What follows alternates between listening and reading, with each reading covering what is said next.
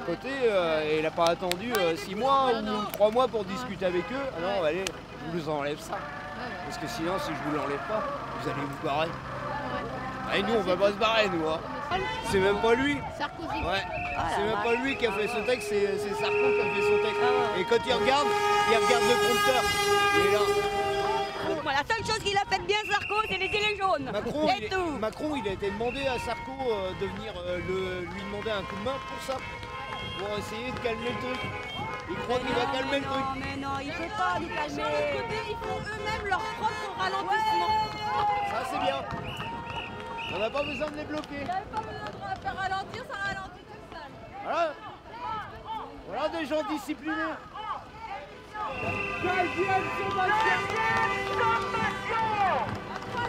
c'est la fête Ouais à la maternelle, c'est quoi ce bordel Huitième sommation, il va vraiment être temps hein. Neuvième sommation Putain, j'en reviens pas, ils savent compter les CRS Waouh Jusqu'à 10, après ça fuit, charge Arrêtez de pisser dans les talus, bordel On avance Tout ce qui est dans les mains est confisqué. Tout ce qui est dans les mains est confisqué Je sais pas trop comment il...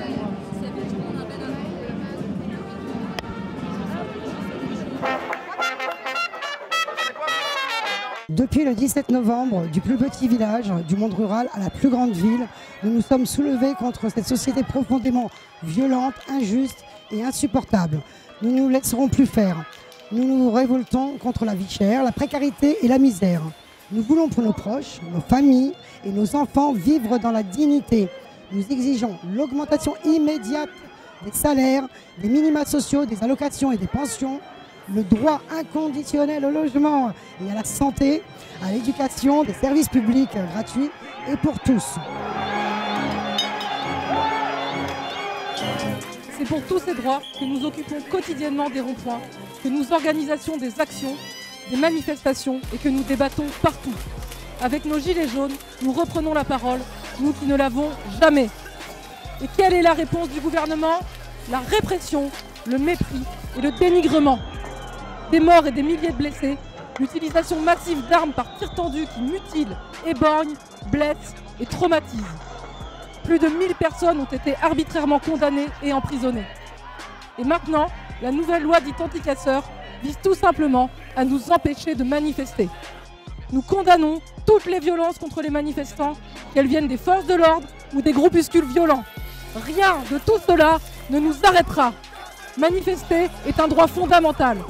Fin de l'impunité pour les forces de l'ordre. Amnistie pour toutes les victimes de la répression.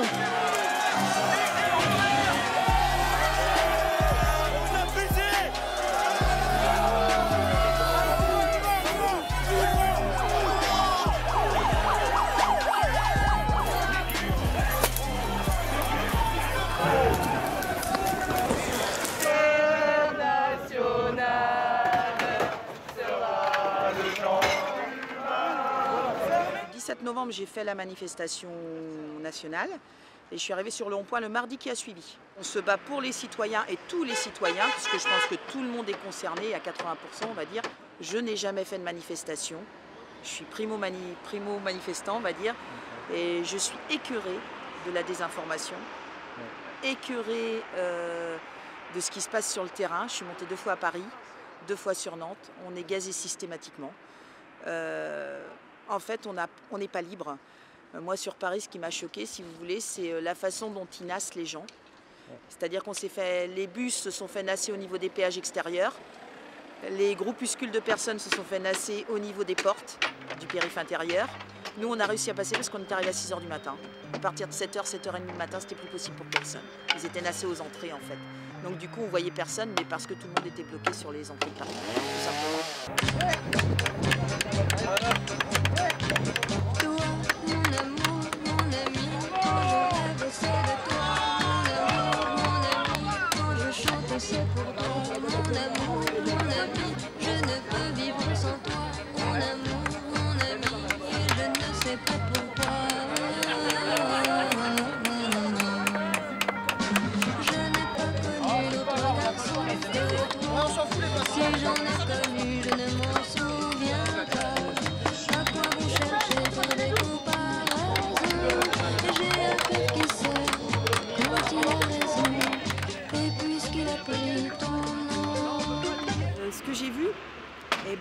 qu'avec le gilet jaune, on arrive à communiquer.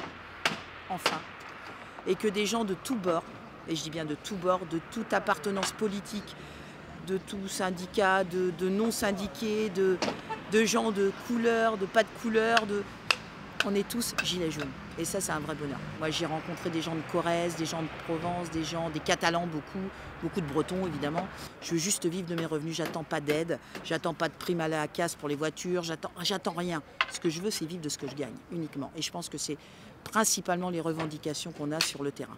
Voilà. On ne demande pas des aides, on demande de vivre décemment. C'est tout. C'est pas plus compliqué que ça. Il faut arrêter de nous faire passer pour des méchants. des- Que tous les gens comprennent que franchement on le fait pour ça, pour les retraités, pour euh, toutes les couches de la société. C'est euh, c'est pas plus compliqué que ça. hein. On a vu en boucle les motards qui se sont fait cabasser. là, euh, On n'a pas arrêté de voir en boucle.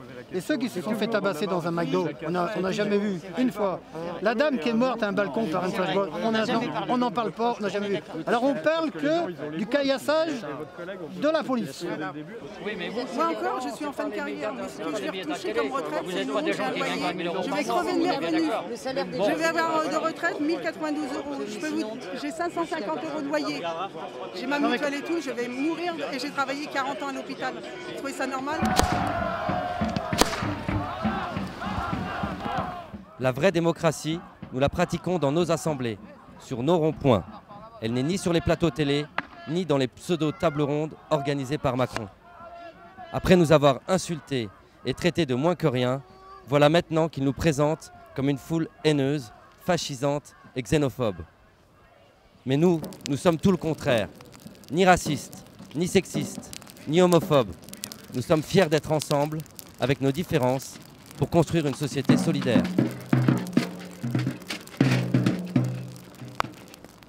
On a des gens qui ont été blessés. On a des gens qui sont morts sous conteste. Ils ne peuvent pas avoir perdu pour rien. Ils ne peuvent pas avoir perdu la vie pour rien. Ils ne peuvent pas. On veut pouvoir vivre. On veut pouvoir décider dans ce pays. Et surtout, surtout, surtout, arrêter les privilèges quand on voit les, montants astronomiques que les gens peuvent encaisser. Et leur métier est beaucoup moins dur que celui qui est à l'usine. Si c'est pas honteux, moi, je vois encore des images au Sénat où on les voit en train de jouer à Candy Crush ou au Scrabble ou en train de dormir. Si c'est pas honteux. Le moindre ouvrier là, qui dort sur une presse euh, euh, dans les usines ou, ou sur le... Vous savez ce qu'il a le droit, lui? La porte. Et nous, on n'a pas le droit de leur faire ça. C'est aussi simple que ça. Merci beaucoup. Je vous en prie. Ça passera peut-être pas. Si. Si, si. Si, si. Moi, quand je fais, ça passe. Merci beaucoup. Je vous en prie.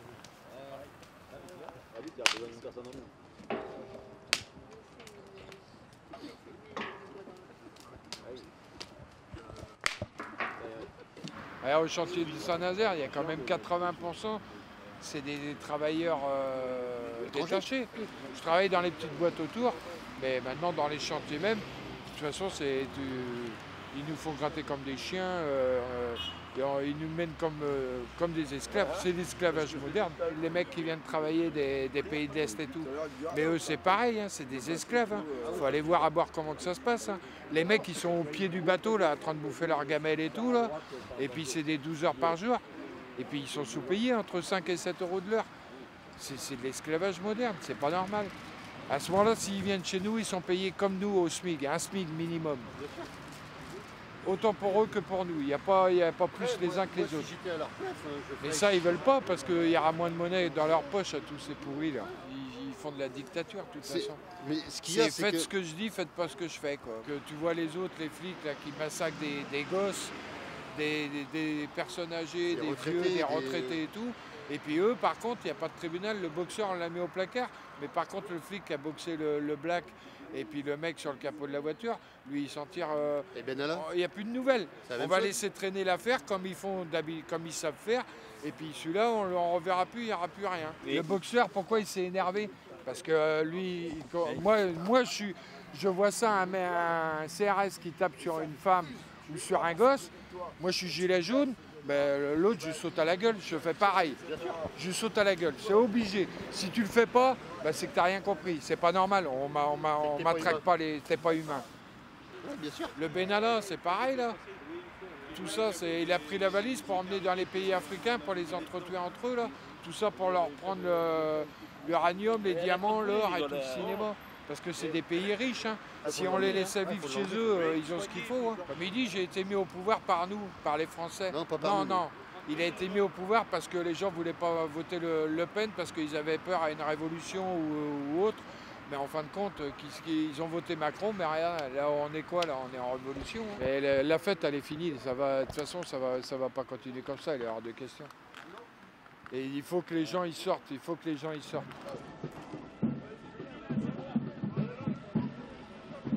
Depuis plusieurs années, on s'aperçoit qu'il y a une véritable militarisation euh, du maintien de l'ordre, entre guillemets. Et euh, donc il y a eu énormément de blessés du fait des armes, des nouvelles armes qui ont été introduites euh, à partir de 2007, notamment les lanceurs de balles de défense. Et euh, donc euh, bah, pendant tout ce mouvement-là, il y a eu euh, déjà des, de- des gilets jaunes, il y a déjà des dizaines de blessés graves du fait de ces armes et des pratiques évidemment de la police. L'impunité policière en fait fait aussi qu'il y a une, toute puissance de, la police et il faut absolument que ça s'arrête là parce qu'on n'est plus du tout dans un, dans un cadre entre guillemets démocratique. On a rencontré le père d'Adrien, qui est toujours hospitalisé, là, qui a été grièvement blessé à la tête. Et donc euh, jeudi après-midi, on va déposer un certain nombre de plaintes avec nos avocats au parquet et aussi on va, déposer plainte au tribunal admi- administratif. Des douleurs dans toute la colonne vertébrale encore aujourd'hui. Des douleurs dans les reins, dans la hanche gauche. Il a dû subir une opération en urgence avec une ouverture plus large du crâne pour évacuer l'hématome et est resté cinq jours en service réanimation. Les scanners et IRM de contrôle ont pour la suite été rassurants. Actuellement, il est sorti du service traumatologie neurologique pour retourner auprès de nous. On ne connaît pas encore les séquelles neurologiques. Il est trop tôt. Elles seront diagnostiquées par la suite. Une série d'examens avec des spécialistes sont prévus dans les semaines à venir. Mémoire, vue, audition, entre autres. Mais, des risques Mais les crises d'épilepsie, comme les convulsions que les témoins ont décrits lors du traumatisme sur place, ont récidivé et continuent. Un traitement neurologique quotidien a donc été mis en place. Par ailleurs, un traumatisme psychologique important est établi. Une prise en charge sérieuse va débuter. Cela nous demande une présence permanente auprès d'Adrien. Et ça a provoqué dans notre famille d'énormes bouleversements. Et ce drame n'est pas isolé. Il fait suite à un autre drame récent à Nantes, celui qui a touché Philippe, de la Maison du Peuple de Saint-Nazaire également. Atteint par une balle de LBD 40 aussi, dans les côtes, le samedi 8 décembre. Celle-ci a provoqué une fracture de la rate très prononcée, entraînant une hémorragie interne. C'est la moitié de son sang qui s'est vidé dans son corps. Cette hémorragie aurait pu, si elle n'avait pas été détectée assez tôt, entraîner les conséquences les plus dramatiques pour ce père de famille et ses proches. Mais on n'en parlera jamais moins que les quelques voitures de luxe abîmées sur les Champs-Élysées. Et les et les poubelles brûlées également.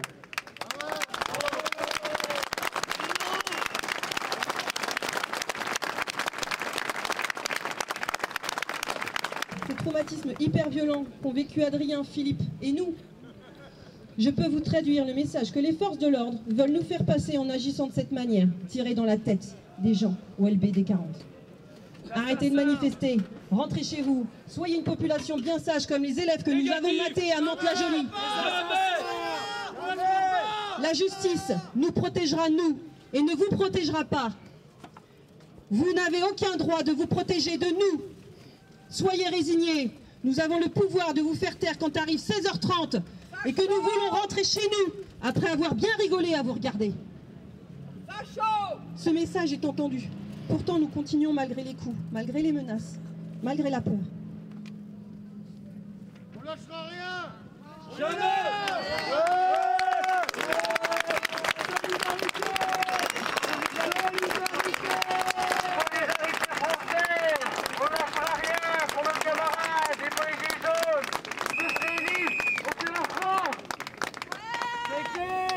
Vous ne nous écraserez pas. Vous pourrez en faire tomber quelques-uns, mais le peuple ne se laissera pas maltraiter indéfiniment. D'autres les remplaceront et feront face. Et qui pourra, au vu de ces violences d'une extrême gravité, leur reprocher de le faire? Nous n'arrêterons pas de manifester. Nous continuerons à faire des actions pour dénoncer ce qui ne va pas dans notre pays et qui touche le monde entier. Je souhaite aussi informer que lors de ce drame qu'a subi Adrien, les journalistes étaient présents. Ils ont refusé de prendre le témoignage d'une personne qui avait essayé de porter secours à Adrien en prétextant brutalement qu'il filmait que ce qu'il voulait. Je remercie la Maison du Peuple de Saint-Nazaire de leur soutien et de leur solidarité inestimable. Merci,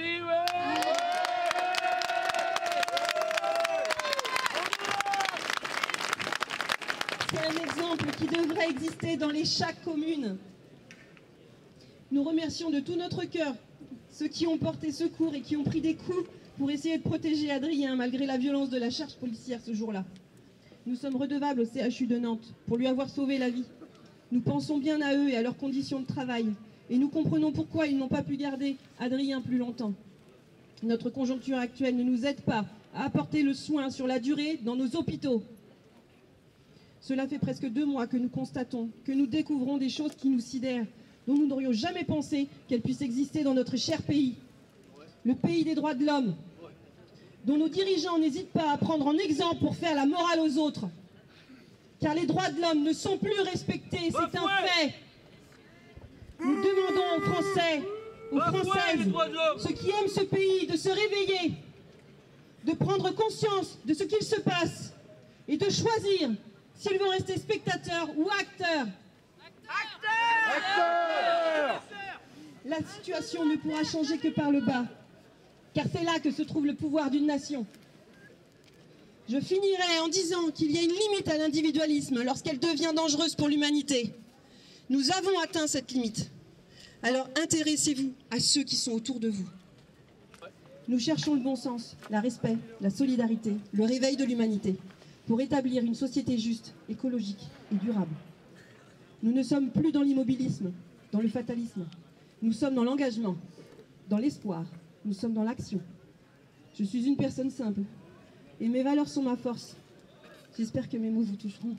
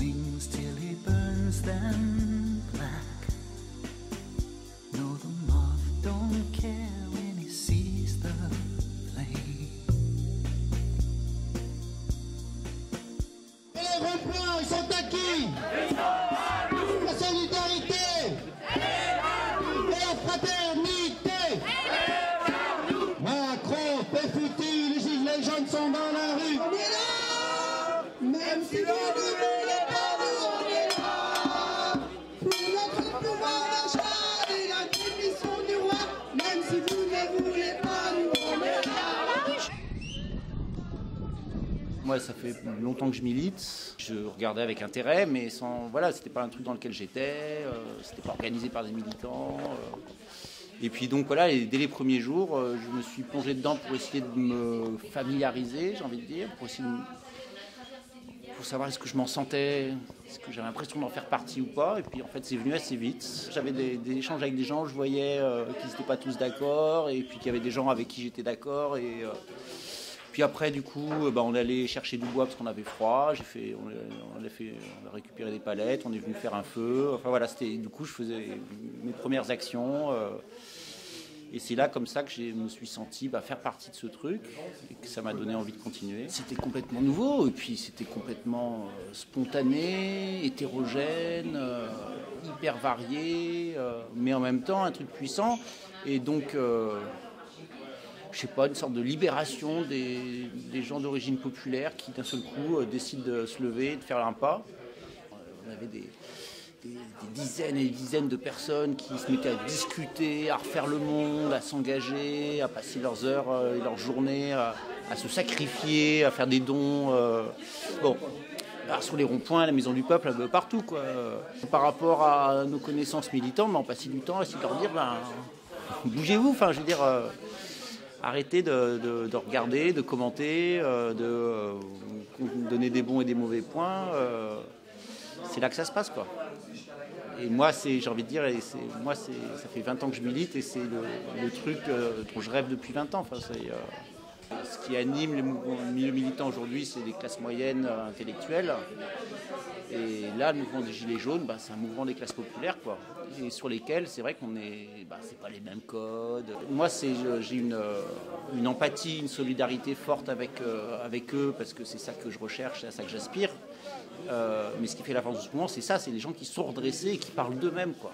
On a plein de gens qui viennent nous voir en disant ben, qu'est-ce que je peux faire, comment je peux m'engager, qu'est-ce que je peux faire avec vous. Et souvent, euh, ben, ils rencontrent les uns ou les autres, mais on n'a personne a de vision un peu globale de tout ce qui se passe. C'est un peu une fourmilière qui part. Enfin bon, en gros, il y, a- plein d'idées, il y a plein d'envie de faire des choses, et il y a plein de monde pour les faire.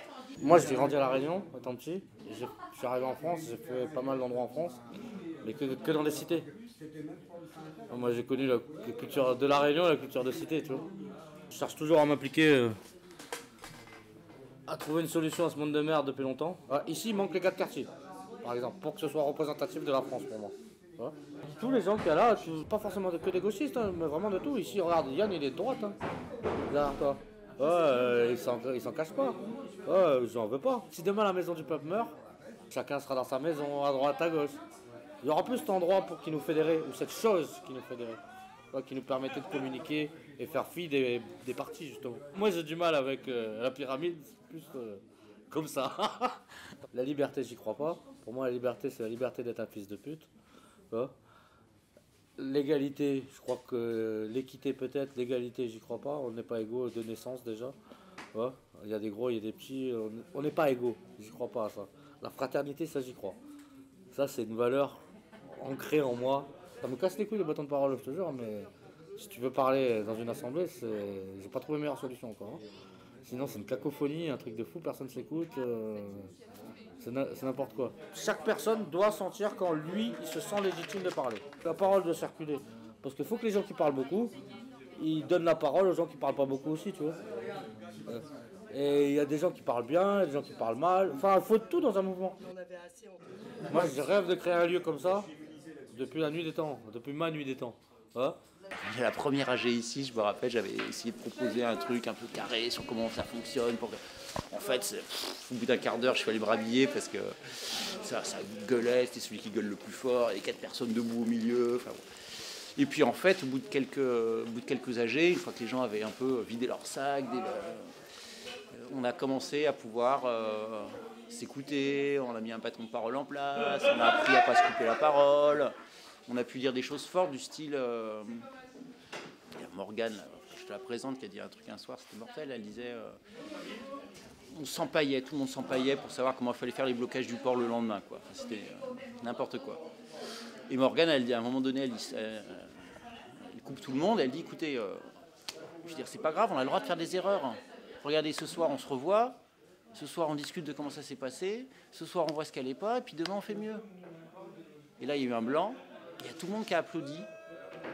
Et le reste de l'AG, ça s'est passé super. Ça, c'est qu'on est dans un processus d'apprentissage euh, où on n'a pas peur de se tromper, parce qu'on va faire des erreurs qui vont nous apprendre des choses. Donc on ose.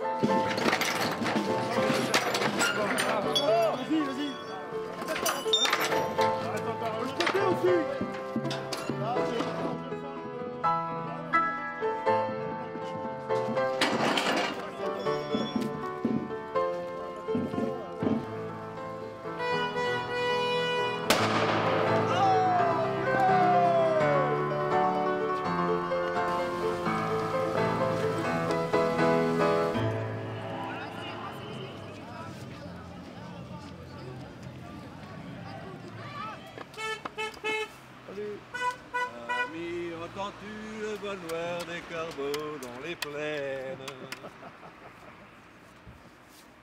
Dans les plaines. Je vais, moi, je vais, je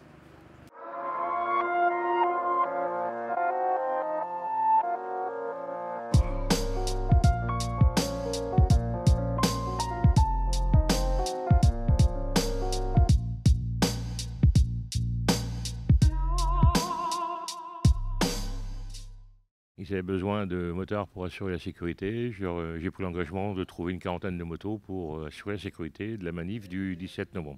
Le 18 au soir, on est parti euh, occuper un rond-point à Verne-sur-Sèche en bloquant la raffinerie. On a été délogés par les CRS le mardi matin. J'ai pris la moto, j'ai fait du ramassage et puis on a regroupé tout le monde autour d'un feu au, au rond-point de, de Cesson-Sévigné avec euh, bon, euh, des actions euh, qui étaient ralentissement de la circulation tous les jours, etc., etc.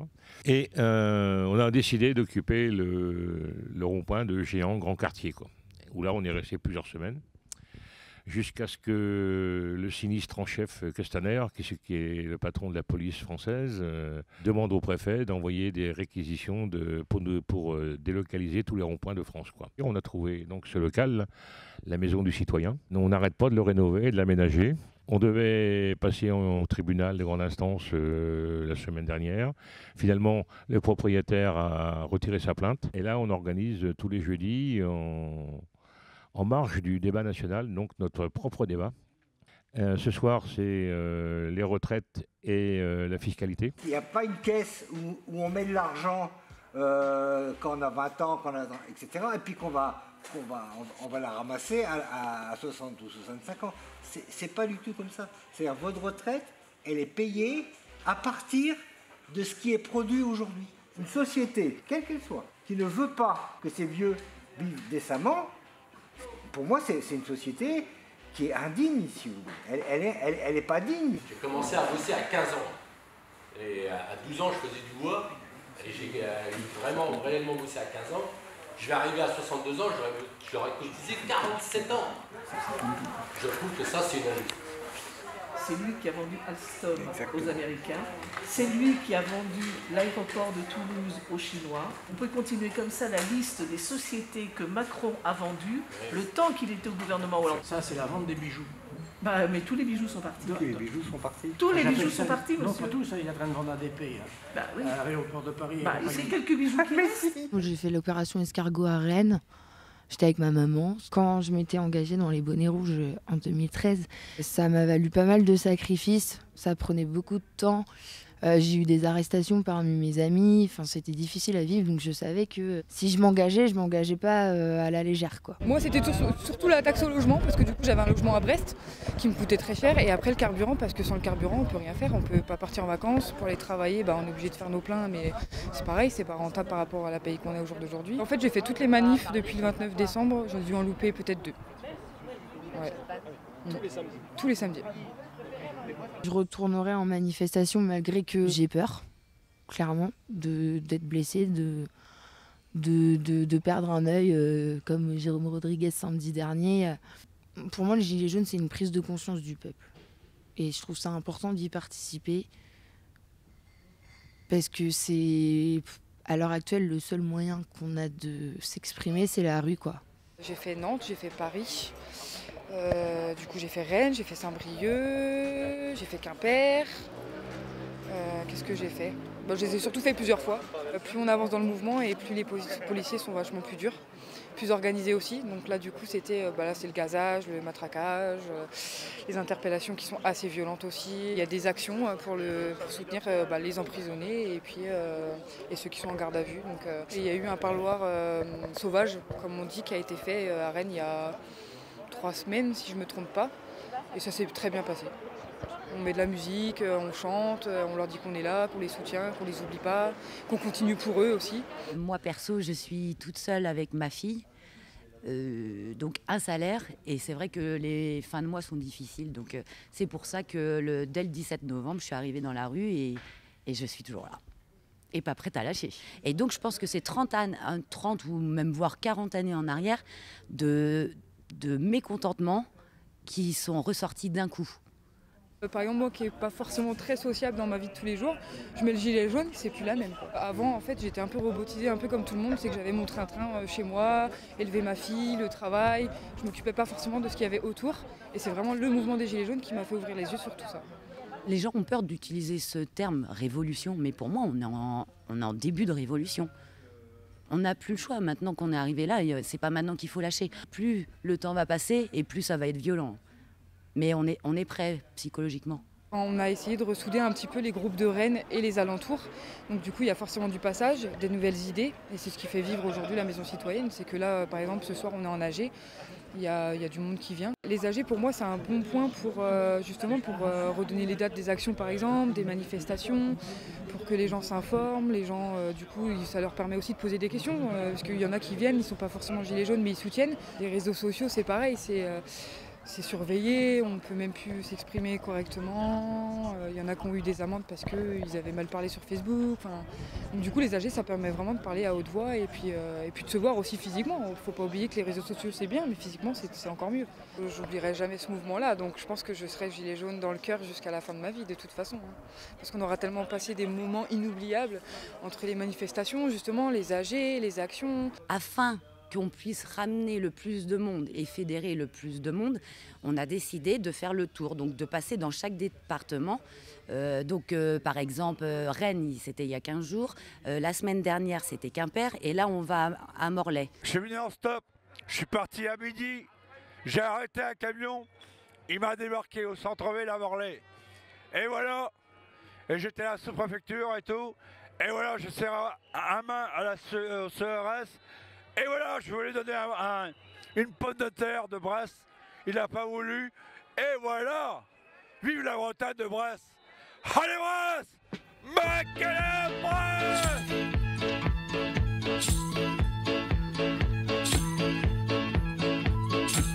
I saw you walking down the street.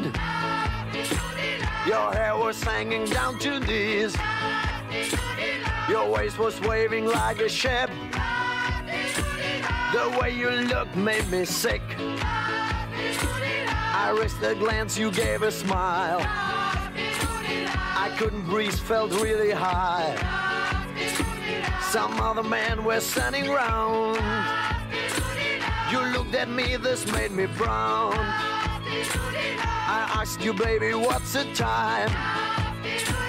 You looked right deep into my eyes. It made me brave, and soon you smiled. La journée d'aujourd'hui, c'est qu'on a vraiment été embêtés dès le départ parce qu'on vient de Saint-Malo. Et euh, euh, on s'est fait arrêter, vous voyez, sur la nationale, sur la 4 voies par euh, les CRS. Donc on était venus en petits groupes et là on a été dispersés pratiquement tout de suite avec un empêchement euh, d'arriver dans le centre-ville de Morlaix. Bah aujourd'hui c'est plus violent parce qu'ils n'arrivent pas à nous maîtriser, c'est tout.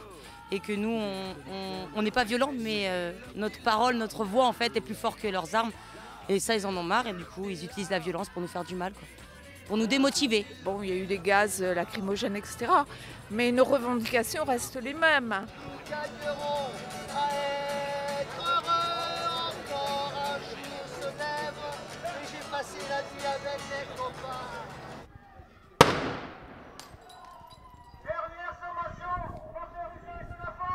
C'est la première fois que je participe euh, à, une manifestation des Gilets jaunes.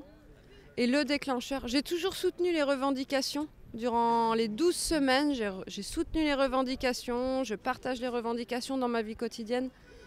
Et du coup, ce qui fait que je viens aujourd'hui, c'est l'augmentation des violences policières, l'utilisation d'armes de guerre, le LDB 40, qui mutile, qui peut tuer des hommes. Ça, c'est pas possible. On devrait tous se battre pour libérer le monde entier de l'oppression financière. Et qu'il est important que chaque citoyen dans le monde prenne conscience de ça. Qu'il soit italien, qu'il soit allemand, qu'il soit français, qu'il soit de n'importe quelle nationalité. Il n'y a pas que les gilets jaunes là-dedans, parce qu'il y a aussi des, Européens. On est mal exploités. Moi, je viens de Roumanie, si vous voulez. Et moi, je défends ma, mon pays, parce qu'ici, il y a beaucoup de gens qui travaillent pour euh, 900 euros. Et c'est pas normal. Viva la France, viva l'Italie, viva tout le monde.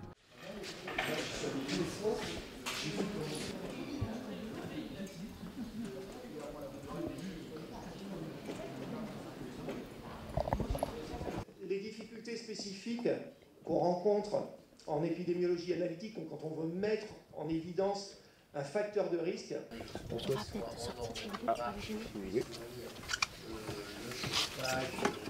voilà, on souhaite sensibiliser les élus sur les violences policières, puisque en fait jusqu'à présent à, Rennes, il y a eu euh, plusieurs manifestations sans, euh, sans problème euh, auparavant. Euh, depuis quelque temps, depuis qu'on nous interdit une libre circulation dans Rennes, on a justement ce genre de problème. On a des, on- il y, a un- il y a une personne Je qui a suis- perdu un J'entends tout ce que vous voulez dire. Je ne suis pas élue, et donc je ne vais pas pouvoir. euh, D'accord. voilà. Donc, euh, bah, écoutez, peut-être qu'il y a un élu là-dedans qui va au moins euh, daigner venir, ou à moins que ce genre de choses laisse les gens indifférents. Donc vous êtes gilet blanc, voilà. Mais nous sommes avant tout gilets jaunes, Oui, oui, évidemment. non, mais ça, il n'y a pas de. Bon, moi, je suis là pour vous écouter. Et puis, euh, je, je serai euh, qui transmettre euh, euh, ce que vous allez euh, que- me dire, voilà. notamment à la maire et, et, euh, au président, à la maire de Rennes et au président de Rennes Métropole. Voilà. Nos revendications euh, sont simples, c'est qu'on veut que les violences policières cessent. Parce qu'en fait, euh, voilà, euh, ça fait quelques semaines que je manifeste dans la ville de Rennes. Jusqu'à présent, il ne s'est rien passé, euh, entre guillemets, de grave, jusqu'à la grande manifestation euh, régionale à Rennes, où là, il y a eu euh, quand même des victimes. Moi, ce que je vois et ce qui est, ce qui est réel, c'est les, victimes euh, du côté des Gilets jaunes. Donc moi, je, me, je, je- je voulais, je souhaiterais rencontrer, enfin, on souhaiterait rencontrer euh, Madame le maire. J'ai une amie qui s'est fait matraquer, tabasser à Rennes il y a 15 jours. Elle était passive. Nous subissons des violences policières inacceptables. Mais du coup, j'estime que si on ne dénonce pas les violences policières, c'est On qu'on est consentant et qu'on les accepte. Et à ce, et à ce moment-là, on se positionne au même moment que M. Castaner, qui donne tous ses ordres, puisqu'en fait, on est aussi responsable de toutes ces violences policières. Ils sont Au même temps que responsables M. et Castaner. coupables. Le- la répression qu'on subit nous pousse à aller encore plus loin. Vous voyez, C'est l'inverse qui se produit. Là, c'est de la colère encore. C'est de la colère qui est montée. Bah vous, vous estimez que nous, nous avons aussi une responsabilité, c'est-à-dire que euh, par rapport aux, aux violences policières, si nous ne réagissons pas, c'est que on cau- Cautionne. cautionne euh, ces violences policières. Il y a pas mal d'avocats qui disent en ce moment qu'on est en train de sortir d'un état de droit. Oui. Vous, en tant qu'élu, euh, est-ce que ça vous fait quelque chose? Oui. En tant qu'élu, là, je ne me pro- prononcerai pas, puisque vous souhaitez rencontrer la maire, visiter la maire. Du coup, je vous pose la, question. moi, à je vous euh. dis, non, mais je vous donne ma réponse. Je ne me- je- devant vous, je ne me prononcerai pas de ce. Voilà. Alors, c'est pas, c'est pas mon rôle. Là, ce soir, ce n'est pas mon rôle de me prononcer. Voilà, il se passe quand même des choses très très graves aujourd'hui en France, hein, notamment euh, des gens qui sont euh, défigurés, hein, euh, qui perdent des membres, et ça, ça ne devrait pas exister aujourd'hui en France. C'est pour ça qu'aujourd'hui on a voulu rencontrer un élu, euh, dans le but d'être reçu un peu plus tard dans la, ma- à la mairie et par Madame le maire, et pour, euh, voilà, pour euh, trouver des solutions pour que tout ça, ça cesse. Nous revenons à, à notre débat après cette petite, euh, euh, j'allais dire intermède, le terme serait mal choisi. Euh, je vais donner la parole à un monsieur. sont descendus dans la rue de la capitale des manifestants opposés à un cinquième mandat bridé par Abdelaziz Bouteflika.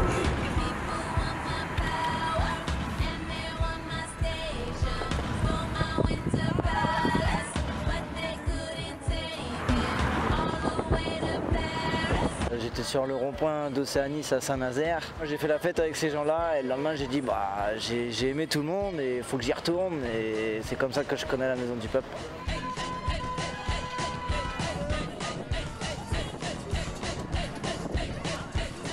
Avant d'être là-bas, je jouais beaucoup à la console et depuis je joue plus du tout à la console quasiment. Et, euh, alors ma mère et mon beau-père, ils sont ouvriers de base.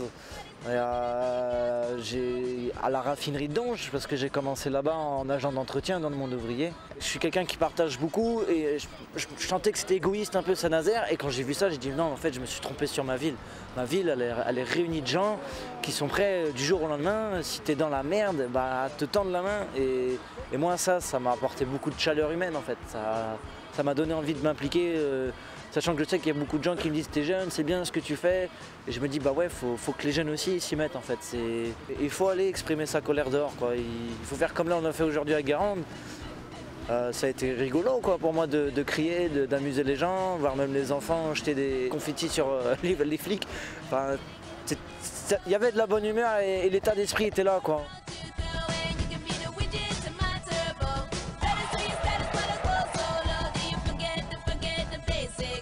Ça me fait pitié les yeux de voir les mêmes, toujours les mêmes, même des nouveaux, hein, venir et revenir et dire c'est trop bien ce que vous faites, on veut vous suivre. Mais et quand moi ils me demandent mais comment vous avez fait ça, c'est pas moi qui ai fait ça, c'est nous, c'est toi plus moi, c'est ensemble. On se retrouvera toujours tous les samedis comme ça. Enfin moi tant, tant que je vois démotivé, je serai motivé. Et s'il n'y a plus de motivés, je serai motivé pour motiver.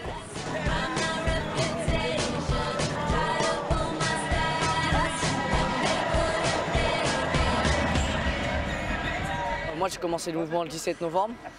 J'ai euh, bloqué le Leclerc avec mes parents et euh, des amis à mes parents et d'autres gens que j'ai connus là-bas. Moi et mon père on pensait que ça allait s'arrêter hein, euh, le mouvement directement parce qu'on s'est dit ça va durer un jour. Là tu vois des gens, avant le 17 novembre je les connaissais pas. Je les ai connus le 17 novembre à 8h30, on s'est tous connus, on s'est tous parlé. En fait c'est la, fraternité dans notre devise qui revient un peu en France là, qui remonte son ampleur.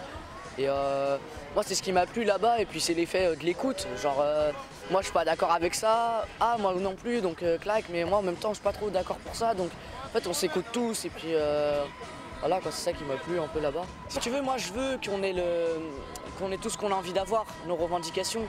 En fait, j'ai peur qu'après ça, du coup, la fraternité, la solidarité, tout ça, elle soit oubliée, elle soit mise de côté. Aïe, c'est bon, on se connaît plus, euh, on se parle plus, c'est fini, on a réussi à se, faire ce qu'on voulait, on retourne devant notre télévision et on écoute ce que la France dit.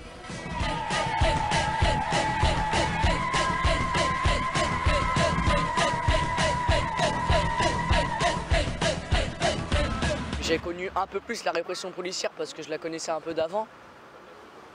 Waouh, là tu te dis, waouh, en gros Macron il est capable de faire tout ça juste pour nous faire taire, juste pour pas montrer que la France souffre, juste pour. euh, ah, Le 8 décembre, je me suis mis devant, quoi, normal. On se prend des coups de matraque, euh, on se fait gazer, ils nous lancent des gilets F4 au pied, t'as le truc qui explose, tu sais même pas d'où ça sort. euh. Tu recules direct, là t'as peur. Déjà, moi, quand je vais dans n'importe quelle manif dans les grandes villes ou les appels régionales, j'ai toujours ce sentiment de Il y a des risques que je me prenne un flashball, il y a des risques, tout ça. Mais en fait, euh, je me dis toujours, si tout le monde a ce sentiment-là, ça veut dire qu'en gros, on n'existerait plus parce qu'en fait, on n'avancerait plus à rien.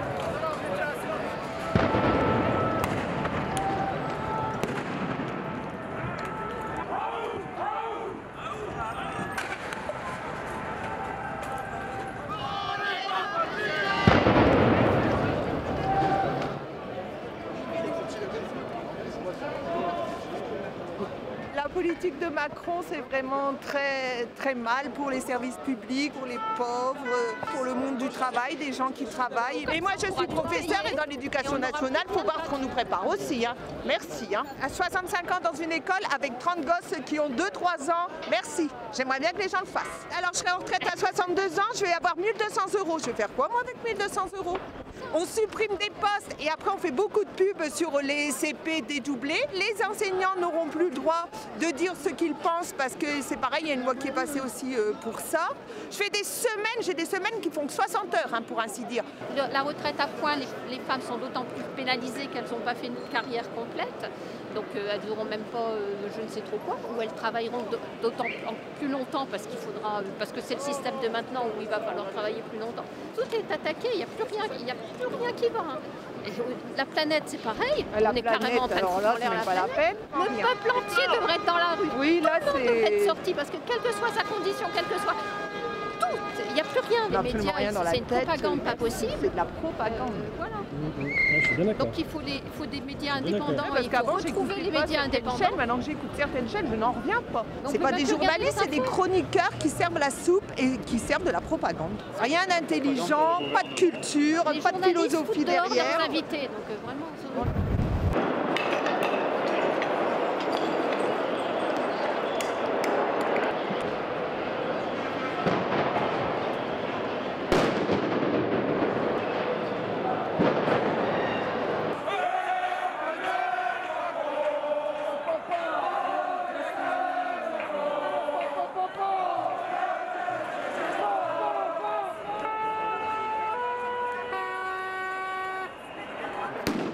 Voilà.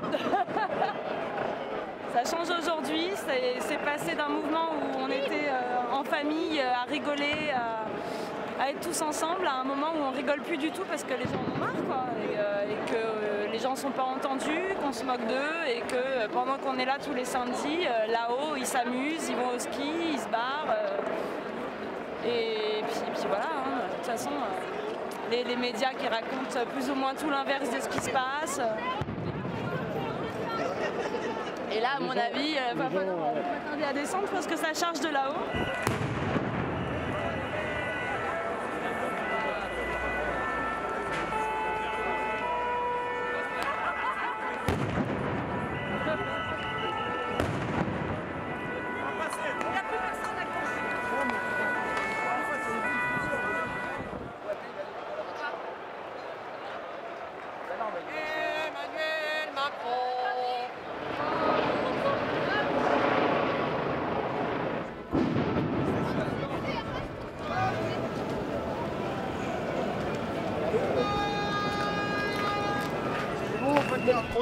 Général ici, on défend pas le privilège de quelqu'un. Je, trouve pas normal que 40 policiers payés avec tes impôts et les miens protègent un intérêt privé. C'est pas normal.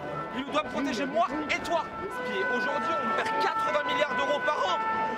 Le budget de l'éducation nationale et de l'armée par an par des gens qui s'évadent fiscalement. On pourrait embaucher des gens qui vont chasser ces criminels-là. On serait pas dans la rue. Parce qu'on aurait absolument tout. On aurait de l'école, on aurait la sécu, on aurait tout. Ils ont protégé Louis Vuitton. Le mec, le propriétaire de ça, il a 47 milliards d'euros sur son compte, putain. C'est pas en pétant tout va y arriver. Alors, quoi alors Une solution Déjà en votant comme il faut. Mais en votant, ah oui, on va. Des gens t'habitent là-haut. Bon Jean Ça vous gêne pas ça C'est vraiment le lieu Ah bah il y a encore du boulot. hein. vise et qu'on dénonce. C'est un des lieux Encore où envie. on se retrouve.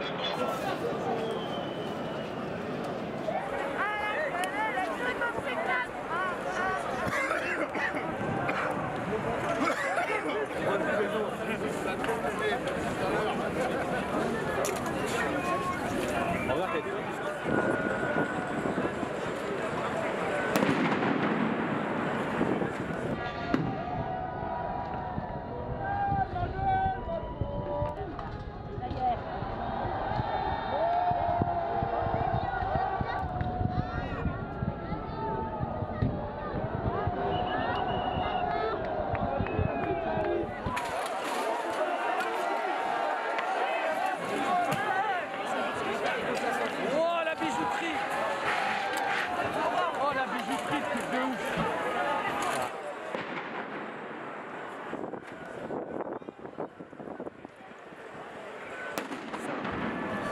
Nous, ce qu'on veut, c'est juste être un être humain Pas une merde Si on laisse le monde aux mains des capitalistes, comme c'est le cas actuellement, on va tous crever.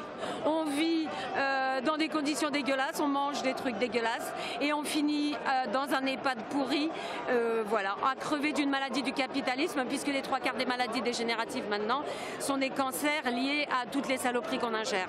Donc je dis aux gens qui sont encore chez eux et qui croient que tout ça va passer et qu'on n'est que des chieurs, sortez dehors, venez avec nous. Avant de vous dire merde, c'était trop tard et les gilets jaunes avaient raison. Collabo Vous auriez été bien avec les SS Collabo Collabo Espèce de lâche Épargnez les gens la honte À vous Payez Ils sont payés pour épargner les gens Bah, Je suis jamais venu à Paris déjà. Et euh, là en plus Paris euh, sous, les, sous, sous les bombes, comme on dit. Paris sous les bombes.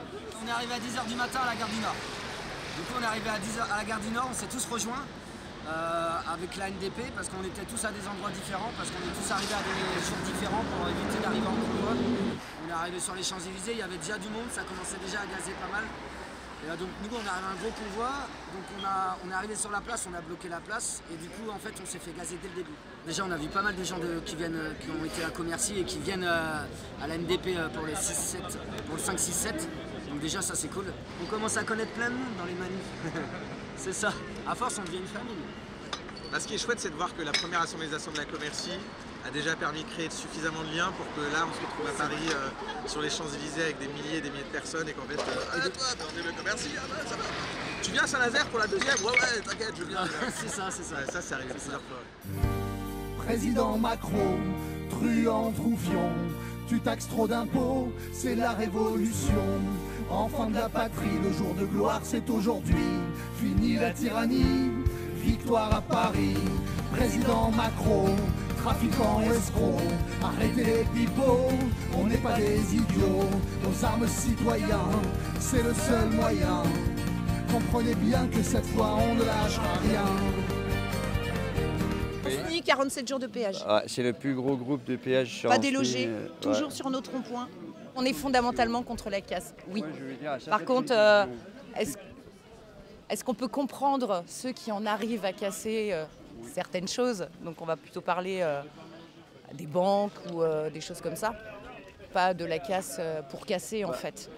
On peut le comprendre en tout cas, même si on n'est pas, nous dans les petites communes, on va pas forcément être pour la casse, mais on peut le comprendre en tout cas. Il est hors de question que mon gamin un jour vienne me dire, mon gamin de 15 ans, vienne me dire, au fait maman, aujourd'hui je suis dans la merde, j'ai un boulot de merde, je suis un esclave, et toi moi. un jour, t'as enlevé ton gilet et t'es rentré chez toi. Donc jamais j'enlèverai mon gilet.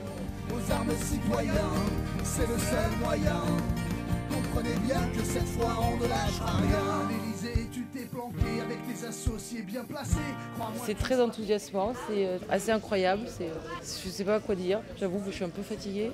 Euh, on est parti assez tôt ce matin. bon bref, on a fait beaucoup de routes. Mais voilà, c'est, bah, c'est- on n'a pas envie de partir euh, tout de suite se coucher parce qu'on a envie de parler avec des gens, on a envie tout de suite d'aller rencontrer du monde. euh, voilà. C'est la révolution, enfant de la patrie, le jour de gloire c'est aujourd'hui.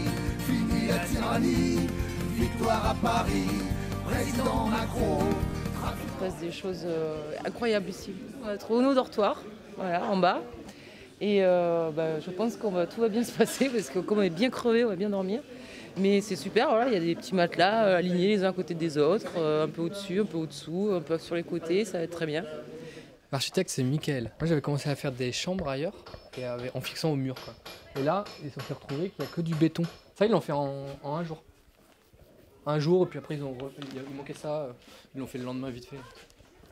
Il y en a partout, il faudrait aller voir toutes les chambres, il y en a partout.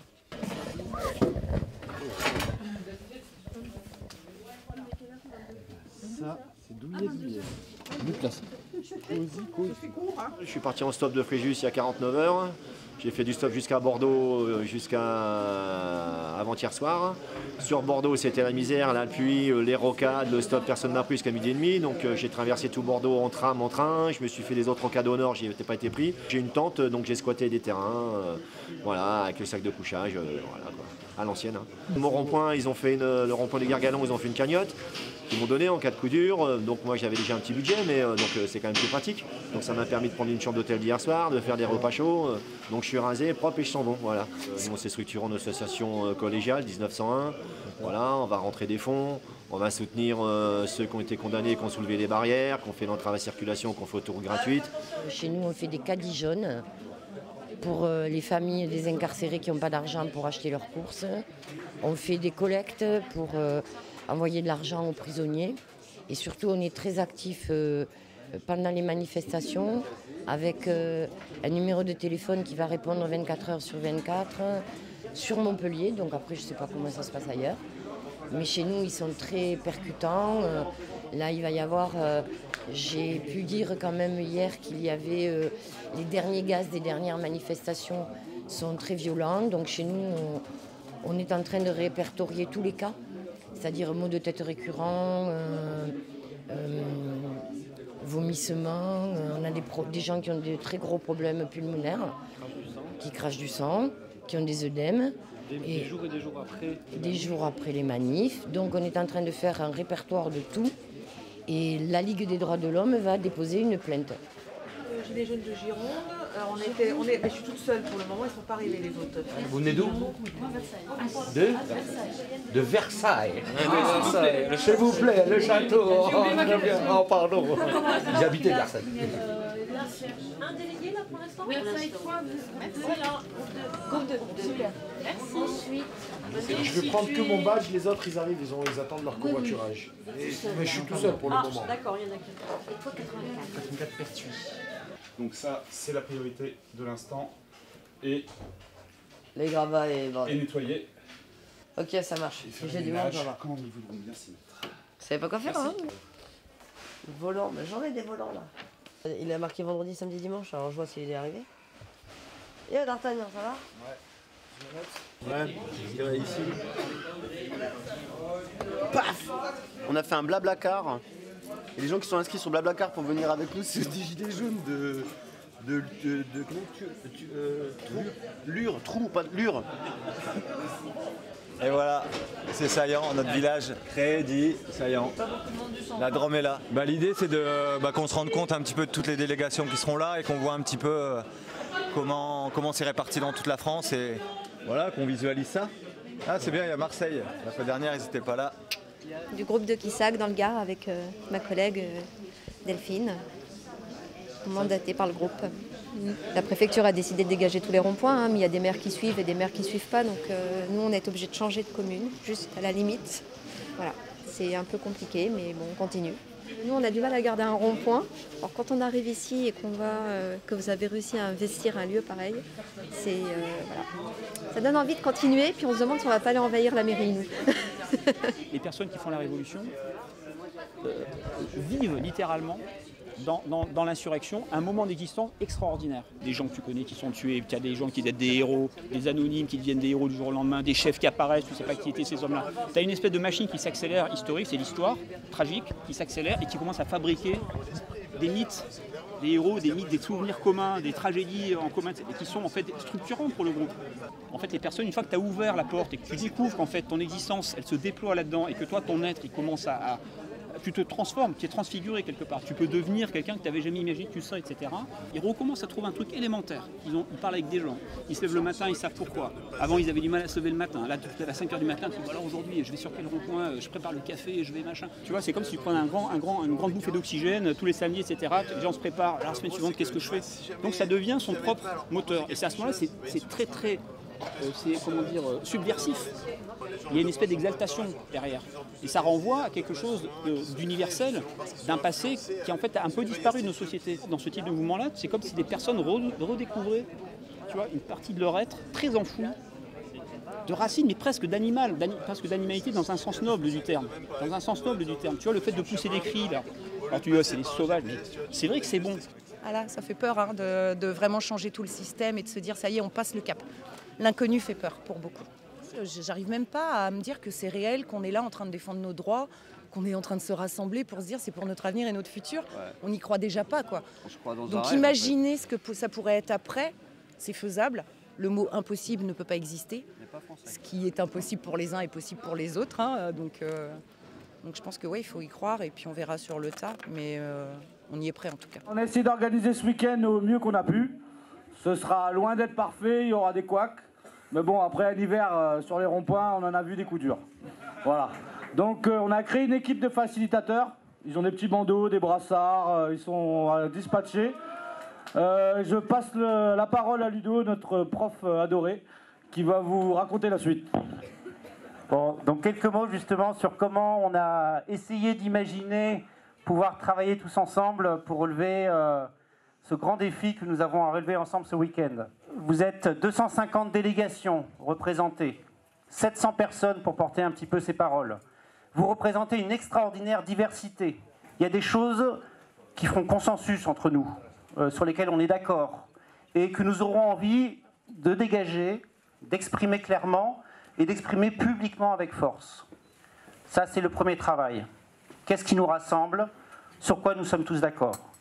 Parmi toute cette diversité qu'on va rassembler ici, il y a aussi des choses sur lesquelles on ne sera pas d'accord, sur lesquelles nous avons des controverses, des débats, des réflexions à mener. Toute notre diversité, ce qui nous rassemble, ce qui fait débat. C'est ça que nous devons arriver à produire tous ensemble.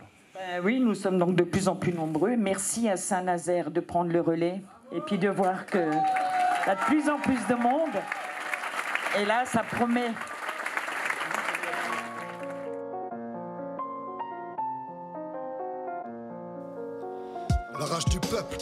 Tous les samedis. On n'a plus un franc, plus de quoi remplir un caddie. Chaque fin de mois, on crève la dalle. Je te parle pas d'appétit, il suffisait de quelques gilets jaunes pour que petit à petit on se bouge, on se mobilise. Que la France s'organise, qu'on soit tous dans les rues et puis que l'Elysée balise. On veut pouvoir créer des lois ou bien les contester. Eux nous boycottent dans les médias, nous empêchent de manifester. Ils disent que le mouvement s'essouffle alors qu'on crève tous de faim. Pour comprendre que ça va péter, y a pas besoin d'être devin. Premièrement, on va devoir converger, c'est-à-dire que les personnes qui ne pas les structures syndicales, mais les syndiqués, par exemple, les, euh, les VR, le mouvement des Gilets jaunes, les stylos rouges, les, euh, les blouses blanches, les gilets roses, des assistantes maternelles, tous unis, un même peuple, dans la rue. Peut-être pas violemment, mais dans la rue. Je suis âgée de 14 ans et j'ai eu la chance euh, dès le, dès le 20-24 novembre de pouvoir m'exprimer sur les réseaux sociaux. Ce mouvement, il était exceptionnellement fraternel et solidaire. Mais on voit, moi, des personnes me considèrent comme un membre de leur famille, moi également. On est vraiment mais, très soudés. C'est exceptionnel. L'unité qu'il y a ici, mais c'est du incroyable, c'est du jamais vu. On ne lâche rien et on continue.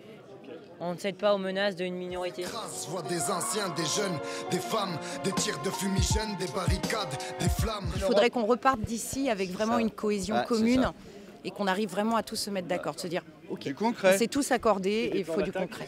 Je vois que des civils, des flics, des CRS nous chasser de la ville. Ils veulent pas que ça s'envenime, ils veulent pas que ça se sache. Donc une fois la nuit tombée, ça devient une partie de cache-cache. Ils attendent bien qu'on soit tous regroupés. Enfants en bas âge et personnes âgées, ils en profitent pour tout gazer. Moi personnellement, je suis un libre penseur, donc euh, je me, je me considère pas dans aucune structure qu'il soit, quoi, partisane, mais euh, ni idéologique. Cependant, j'ai des idées de tous bords, hein, mais, euh, mais voilà quoi. Je, je peux me considérer à la fois comme un internationaliste, communiste et un grand patriote souverainiste. Visage comment rester calme, pas leur sauter dessus quand ils sont dix à tabasser une femme et qu'elle n'a pas d'issue. Quand t'es pacifique de nature, que t'es pas du tout pour la violence et que tu y vas peinard et que tu te prends un coup et que tu vois les autres se faire fracasser pour rien, là t'as un degré de violence. Une violence qu'on ne connaît même pas et qu'on pouvait même pas se dire Oh, j'ai ça en moi, j'ai ça en moi. Je me suis vue en manifestation voir les gens se faire matraquer, mais j'ai dit mais c'est pas possible, je vais péter un câble. Mais moi aussi je vais y aller et là je vais tout péter. Et là tu, tu regardes les black blocs et tu fais Eh, oubliez pas le McDo du coin s'il vous plaît les gars. Franchement. Parce que là, euh, là allez-y les gars, courage, on est avec vous. le mec de Bordeaux J'ai dit vous faites pas des stages là, je veux venir moi parce que là, euh, j'en peux plus. hein. Le 17 novembre, euh, je dois faire partie des pacifistes qui sont descendus pour dire je suis pas content. Et puis maintenant, ben, je suis pas plus du tout pacifiste. Je ne peux plus être pacifiste vis-à-vis de la répression qu'on nous fait. Il faut qu'on remobilise, avant d'amener d'autres gens, qu'on essaye de garder les nôtres et sortir ceux qui sont en prison pour qu'ils reviennent avec nous. Dans les placards des gilets jaunes, y a que des pattes. Derrière les barricades, les vitrines de banques éclatent. Ils nous prennent en étau, nous coincent dans des petites rues, escaladent les jardins des voisins pendant qu'ils nous tirent dessus. Quand on voit les manifs, euh, les manifs, euh, c'est le gouvernement qui fait monter la, colère, qui fait monter la pression. C'est tout parce qu'ils ont peur et ils ont raison d'avoir peur. Mais c'est à nous d'être plus intelligents qu'eux. On progresse, on évolue et tous ensemble. Euh, c'est bon. Donc, je pense qu'on va sur la bonne voie et c'est normal que le gouvernement ait peur. Ils sont minoritaires, donc euh, c'est comme des berniques, mais on va les décrocher du rocher et on va les foutre à la poubelle. Ce qui se passe, c'est fou. Je sais pas si tu réalises. Ils tirent sur nous, mais aussi sur les médics et les journalistes. Et moi, je te dis que ta hure, c'est pas la tienne, c'est la nôtre. Mais que ta dictature, on n'en veut plus chez les vôtres. Il y a plein d'actions à faire encore, mais ça sera pas facile. Reconquérir le peuple. Les, les- les gilets jaunes en pantoufles, c'est ceux-là qu'il faut faire sortir. C'est 80% du début. Avant qu'il y ait la révolution civile. Ah oui Parce que si on en arrive à la révolution civile, il sera trop tard pour les gilets jaunes de sortir. Ah. En pantoufles. C'est quand ils n'auront plus de travail et plus à manger qu'il faudra qu'ils sortent Non, ça sera trop tard. Il faut qu'ils sortent avant. Gilets jaunes, quel est votre métier?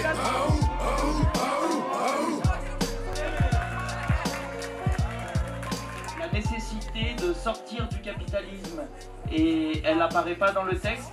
Euh, ça semble important pour euh, pas mal de copines et copains que ça apparaisse. En fait, euh, la, la formulation de la commission, c'est qu'il y a juste le terme extrémisme libéral et que le terme capitaliste n'apparaît plus après. C'est ça leur proposition.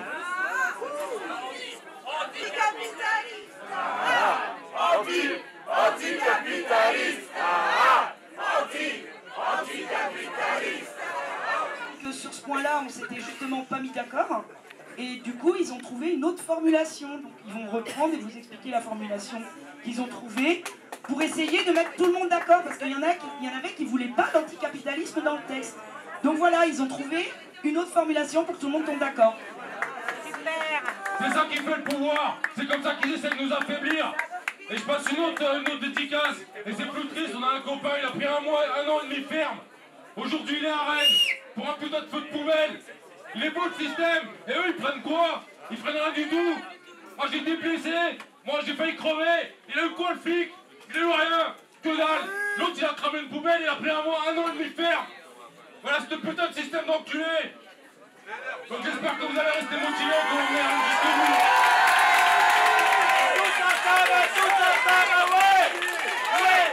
Nous sommes conscients que nous combattons un système global. Nous considérons qu'il faudrait, enfin, qu'il faudra sortir du capitalisme. Ça, c'est la phrase qui a été euh, remontée et votée. Donc, on confirme Voilà. On vote là-dessus, considérant qu'il faudra sortir du capitalisme. Je suis gilet jaune à plein tube, hein, euh, même certainement avant les gilets jaunes. Ah bon? Moi, ça date de mai, mai 68. Vous voyez ce que je veux dire, quoi. Euh, mai 68, eh ben, il y avait des bagnoles renversées dans tout Paris. C'était beaucoup plus méchant que maintenant. Les pavés sur les flics, on avait nos armes, c'est-à-dire un lance-pierre avec des écrous de 13. C'est beaucoup mieux un écrou de 13, ça fait plus de mal qu'un écrou de 10. Le 13 de 13, c'est impeccable. Il est assez lourd et il pique. Une fourche en bois, deux élastiques, une languette. Et puis, sur ces messieurs, les trois lettres. C'était beaucoup plus méchant que maintenant. Les gilets jaunes, ils sont gentils comme tout. hein. Et à cette époque-là, on a quand même eu, si je me rappelle bien, on a quand même eu 25% de rallonge sur les salaires. Euh, mai 68, maintenant, c'est presque pas possible parce que les, CRS, bon, bah, les CRS, que ce soit les CRS, que ce soit la, BAC ou un truc comme ça, ils n'hésitent pas à tirer. Ils tirent même sur des gosses. Nous invitons toutes les personnes voulant mettre fin à l'accaparement du vivant à assumer une conflictualité avec le système actuel pour créer ensemble, par tous les moyens nécessaires, un nouveau mouvement social, écologique, populaire. La multiplication des luttes actuelles nous appelle à rechercher l'unité d'action. Conscients que nous avons à combattre un système global, nous considérons qu'il faudra sortir du capitalisme. Ainsi, nous construirons collectivement ce fameux tous ensemble, que nous scandons et qui rend tout possible. Il a une matraque télescopique, un passeport diplomatique. Même si vous ne voulez pas, y avait nala.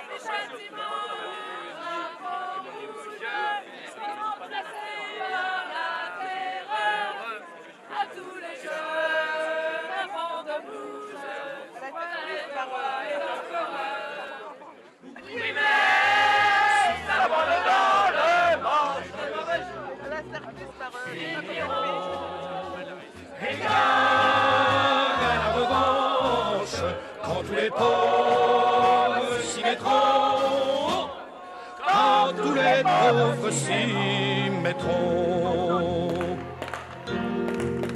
Le peuple au de misère sera-t-il donc toujours rivé Jusque à quand les gens de guerre tiendront-ils le haut du pavé Jusque à quand cette clique nous croira-t-elle un vil bétail Attend enfin la République de la justice et du travail?